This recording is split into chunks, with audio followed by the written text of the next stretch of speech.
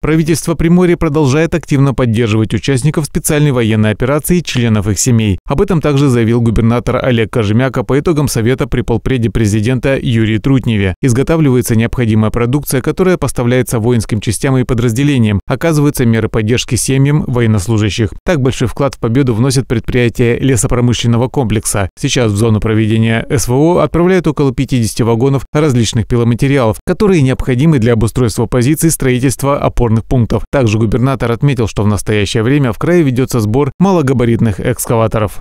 На протяжении всего года помогаем, и это довольно значительные э, суммы идут на поддержку э, военнослужащих. Сейчас я Хочу поблагодарить э, наших ребят из лесопромышленного комплекса. Мы отправляем порядка 50 вагонов пилматериалов по всем нашим подразделениям, которые сегодня находятся в зоне специальной э, военной операции. Это э, и брус, это доска, это они дали абсолютно значит, бесплатно предоставили.